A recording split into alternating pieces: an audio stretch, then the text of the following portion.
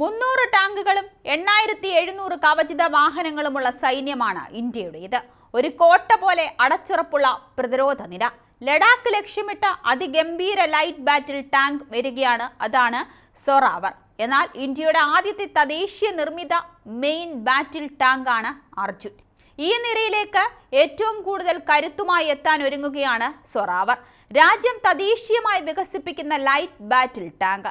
ലഡാക്ക് പോലെ ഉയർന്ന പർവത മേഖലയും ദുഷ്കരവും ഇടുങ്ങിയതുമായ പാതകളുള്ളതുമായ സ്ഥലങ്ങളുടെ പ്രതിരോധം ലക്ഷ്യമിട്ടാണ് സൊറാവറിന്റെ വരവ്. ലൈറ്റ് ടാങ്കുകൾക്ക് ഉയർന്ന സ്ഥലങ്ങളിലെ യുദ്ധത്തിൽ വലിയ സ്ഥാനവുമുണ്ട്. ആയിരത്തി തൊള്ളായിരത്തി നാൽപ്പത്തി എട്ട് നവംബറിലെ India Pak യുദ്ധകാലത്ത് major general Thimayya Stuart mark six light ടാങ്കുകളെ ലഡാക്കിലേക്ക് എത്തിച്ചു. ടാങ്കിന്റെ വീര്യത്തിൽ പാകിസ്ഥാൻ സേന അവിടെ നിഷ്പ്രഭരായി. പോയി. സോജിലെ പാസ് പോരാട്ടത്തിൽ ഇന്ത്യ ആധികാരിക ജയം സ്വന്തമാക്കി. ആയിരത്തി തൊള്ളായിരത്തി അറുപത്തിരണ്ട് യുദ്ധത്തിൽ ചൈനയ്ക്കെതിരെ ഇന്ത്യ ഫ്രഞ്ച് നിർമ്മിത എ എം എക്സ് ലൈറ്റ് ടാങ്കുകൾ ഉപയോഗിച്ചിരുന്നു. ഈ ടാങ്കുകൾ വളരെ ഉപയോഗപ്രദമായിരുന്നു.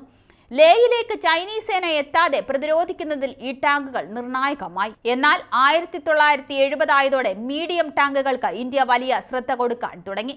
പഞ്ചാബിലെ സമതലങ്ങളിലും രാജസ്ഥാനിലെ ഊഷര നിലങ്ങളിലുമൊക്കെ ഉപയോഗിക്കാൻ മീഡിയം ടാങ്കുകളായിരുന്നു കൂടുതൽ അഭികാമ്യം. എന്നാൽ രണ്ടായിരത്തി ഇരുപതിൽ കിഴക്കൻ ലഡാക്കിൽ ഇന്ത്യ ചൈന സേനകൾ തമ്മിൽ ഉടലെടുത്ത സ്റ്റാൻഡ് ഓഫിന് ശേഷം ലൈറ്റ് ടാങ്കുകളുടെ പ്രസക്തി വെളിപ്പെട്ടു. ചൈനയുടെ കൈവശം ധാരാളം ലൈറ്റ് ടാങ്കുകളുണ്ട്. ഇതേ തുടർന്നാണ് സോറവാറിന്റെ വികസനത്തിലേക്ക് ഡി ആർ ഡി ഒ കടന്നത്. ലാൻസർ ആൻഡ് ട്രൂബോ കമ്പനിയുടെ സഹകരണവും പദ്ധതിക്കുണ്ട്. ഏപ്രിൽ മെയ് മാസത്തിൽ സോറവാറിന്റെ പരീക്ഷണങ്ങൾ നടക്കുമെന്നാണ് കരുതപ്പെടുന്നത്. ലഡാക്കിന്റെ വിജയ് എന്നറിയപ്പെടുന്ന സോറവാർ സിംഗ് കലൂറിയുടെ പേരിലാണ് ടാങ്ക് നാമകരണം ചെയ്യപ്പെട്ടിരിക്കുന്നത്.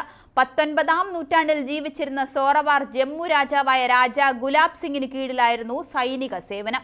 വികസന ഘട്ടം പൂർത്തിയായി സൈന്യത്തിന്റെ ഭാഗമാകുന്നതോടെ ചൈനയുടെ സെഡിക്യു ബാറ്ററി ടാങ്കിന് മികച്ചൊരു മറുപടിയാകും സോറവ.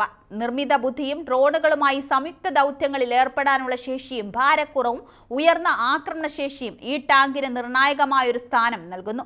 യുദ്ധാവശ്യങ്ങൾക്ക് ഉപയോഗിച്ചു വരുന്ന ഒരു കവചിത വാഹനമാണ് ടാങ്ക് അഥവാ യുദ്ധ ടാങ്ക് ഒന്നാം ലോക മഹായുദ്ധത്തിൽ ബ്രിട്ടീഷുകാർ ബങ്കറുകൾ തകർക്കാൻ കണ്ടെത്തിയ കവചിത വാഹനമാണിത്.